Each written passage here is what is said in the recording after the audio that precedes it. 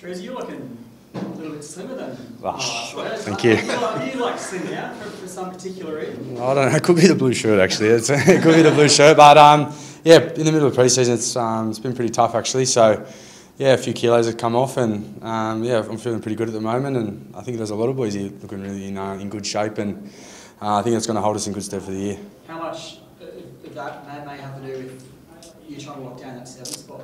Yeah, for sure. I think it's um, it's one of those things. I know I've always carried a bit of extra weight, and um, it's always it's always a goal of mine going into the preseason to sort of get as, as lean as you can and, and, and sort of be able to play at the best weight you can. So uh, this year's no different, and um, it's something that I've really focused on uh, for the preseason. What's the diet been?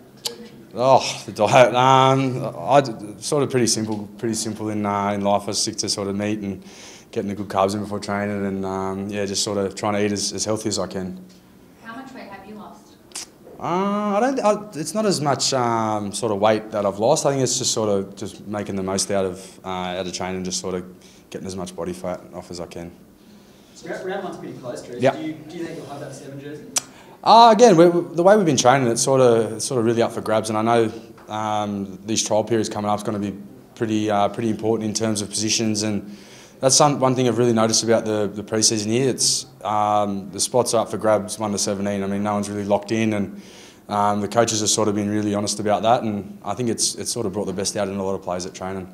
Have you been training in, like, particular with someone in that position? Like, is that yourself? Yeah, yeah, I've been playing uh, training in the halves, and, and I think that's there's sort of sort of four four or five of us that have really been training there all pre-season, and it's I suppose it, it, it does make you really switch on and bring your best effort to training each week, and uh, I think it's something that we're all sort of really enjoying, and, and whilst we're learning off each other, we all bring our own strengths to the team, and it's um it's something that's sort of been really noti- noticeable this uh, this pre-season. Do you imagine you'll go into the trials with the sort of starting side, and how it will look, or do you think it will still be a chance for people to impress there? I definitely think it's going to be a chance for, for people to impress and put their hands up. Whilst, whilst we want to put our, our best team out there, you sort of, um, blokes' minutes will be monitored and stuff like that. So it's, it's just about getting combinations and, and getting an understanding about the team team that's going to be around you. And uh, one thing that we've got this year is a lot of new faces. So um, the, the, the idea of getting combinations in, it's, it's something that we're all looking forward to, especially coming up these trials. The expectation is that Birdo will be one Yep. half, so there's that leaves four of you fighting for the Yeah. position. Yeah. Do you find that combination has clicked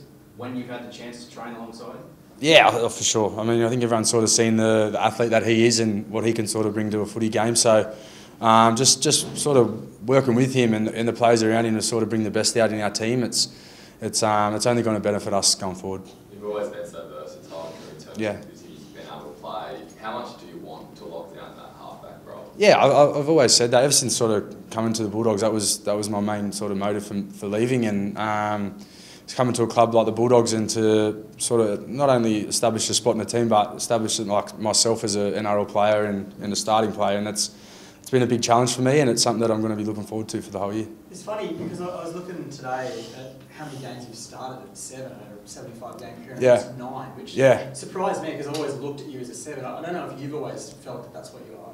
Um, yeah, again, it's, I've always sort of considered myself in the halves, and, and whether that be seven, six, it's um, it's something that I've sort of been able to adapt to, to do a different role. But sort of coming to the Bulldogs, I've felt like I, I've had an understanding of my role uh, from day one, and it's um, yeah, it's sort of exciting for me to be able to continually work on that and um, sort of develop it through the preseason and develop combinations around me. There was a yarn in the, in the telly that um, there's no player here from 2021, which is like Yeah. extraordinary. Is there a theme amongst you guys throughout this preseason building something new?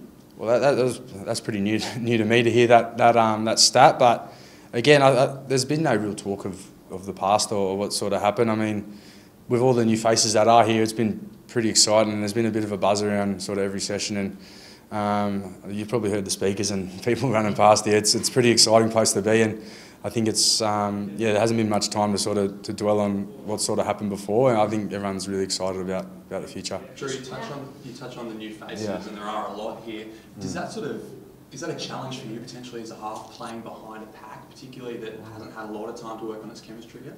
Uh, yes and no, but again, at the same time, that, that challenge is, is sort of on me, I guess, to, to communicate to them and, and to bring the best out in them. And that's, I think that's some, a part of my game that I have sort of uh, learnt and have an understanding of, and, and just bringing the best out of the players around me is something that um, I'm going to need to do this year. It's probably not the biggest pack in the NRL, and we saw Ray moving on Yep. the last couple of days. But does size matter? Do you think in the morning game with forwards playing, playing behind big I'd forwards, say- small forwards, does it matter? Answer however you want. All right. I'm going to say no, it doesn't matter for everyone else out there. But um, yeah, again, I, I think you, a lot of sort of packs these days are mobile, and the, some of the best forwards in the comp are, are those blokes that are under 100 kilos that can move and can get in between defenders. And um, yeah, it just depends. I mean, it depends on the game, depends on the style, and uh, having that pack that, that is mobile and that is aggressive is something that we've really spoke about this year. And uh, I know it's a challenge for, for blokes here to really really aim up, and um, I know that a lot of them are looking forward to it.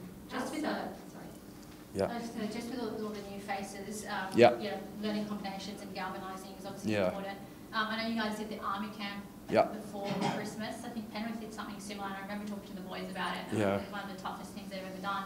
What was what was that Yeah. camp like? Can you give us some insight? Oh, geez, I, I hated it. It was um, it was pretty tough, but again, it was it was three days with with a bunch of blokes who was really coming together, and it was um, sort of when I left, I remember just thinking, no, I've had a, I had a really good time, and um, you get an understanding of the boys around you and, and what they're capable of, and um, I guess it was was one of those camps that sort of everyone just really understands how, how strong and how fit some of the blokes are here, and um, yeah, it really really helped us, and I know that we're all looking forward to sort of getting around each other and playing more footy together. Who really stood up in that camp?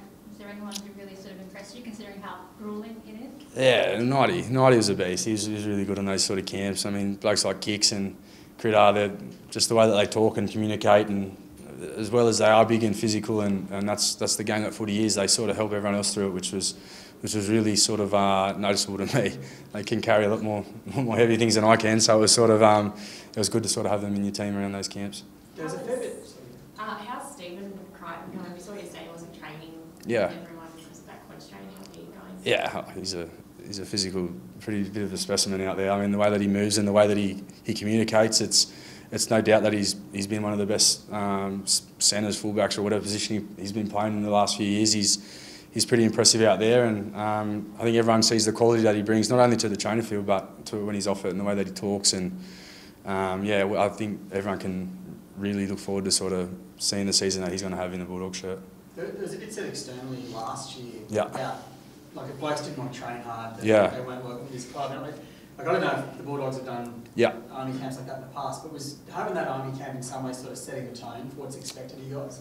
Yeah, I guess it's. Um, I think that I've hearing those rumours and those whispers last year. I mean, it couldn't be further from the truth when you sort of come here and you experience how hard the boys do train.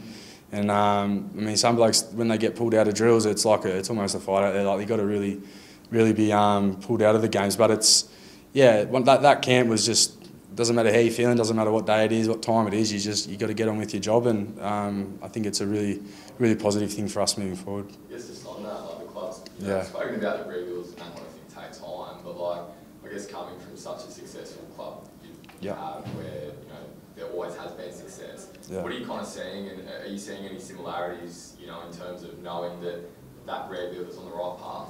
Yeah, for sure. I mean, the, just the way that everyone from the top down is, is in alignment, like everyone is in, in belief of what we're doing here, and that, I think that's the main thing. I mean, that, that I'll- where people say it doesn't matter if you're doing the right thing or the wrong thing. If people are following you, you it's, you're going to get majority of it right. So, just that alignment from the top down in, in all departments, I think that's that's the most important thing. And the next step is for the performances on the field, and um, yeah, we're doing our best in the preseason to sort of deliver that for the year.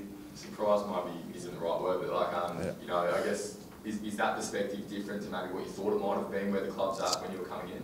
No, not at all. Actually, I remember meeting with sort of Cam and Gus and, and discussing uh, the club, and you can just see that the the direction they wanted to go in, and and the the, the passion that they sort of spoke about. It's it's you get an understanding of places, and um, I know being at the Roosters, the way that they sort of spoke about the club as a whole, and that, that's that's the feeling I got when I sort of met with the Bulldogs, and um, yeah, it, it makes for a good environment to be a part of, and yeah, again, I've loved every day here, and it's been it's been a real challenge, but it's been um, one I'm looking forward to. It's been a long time since this footy club's been in the finals. Yeah. Like, I know there's obviously so much change with the roster and everything. Are you guys in a position to talk about expectations? Um, yeah, again, I, I don't think we've. That's pretty cliche. We don't really talk about that at, at, as much. I know that if we if we play the footy that we want to play and and we um, we sort of start building towards the footy that we want to play, that's going to put us in our good stead to be in the finals. And um, we have no doubt that that'll take care of itself. And yeah, again, I, I don't want to say it, but we're focusing on, focusing on ourselves and, and getting our best performances ready for round one. Come from a club, Drew, with a coach who's famously very successful. What's Yep. Ciro like compared to Robbo? What, how do you see the two? Are they similar, different? Yeah, very similar. The way that they, they think about the game and, and they think about their players and, and sort of the, the best way to, to get the most out of their players is something that I've, I've really noticed. I mean, the way that Ciro can, he understands the, the strengths of a team, where we need to sort of work on. it. It's just, it's, um, it's no different and it's, it's a good environment to be a part of and it's one that challenges not only yourself but I think the people around you to be their best every day. How's Bronson Xerri looked? Yeah, he's pretty cool. I'd like to look like that. and I'd love to run that fast. He's um, yeah, he's pretty impressive, and just the way that he sort of, yeah, he's he's held his hand up for his for a mistake that he made four years ago, and he's come back in the best shape that he's probably ever been in his career. I mean, he's fit, he's fast, he's he's athletic, and um, yeah, but again, the, I think the game has changed in, in those years, and he's understood that, and the way that he, he can take feedback and he sort of he's he's a big student. He wants to learn. He wants to wants to get better, and, and that's the environment that this this is, and that's where I think the, the boys around him have really helped him as well. If the Bulldogs are feeling their strongest side, is he in it? Uh, well, I'm not the coach, I'd like to, um, but uh, again, I, I think he's really putting his best foot forward at the moment. He's, he's trained every session pretty much, and he's he's getting himself in the best best shape possible to be there for round one, and it's um, yeah, it's a credit to him to be honest. Thanks, mate. All right, cheers guys, thanks very much. Thank you.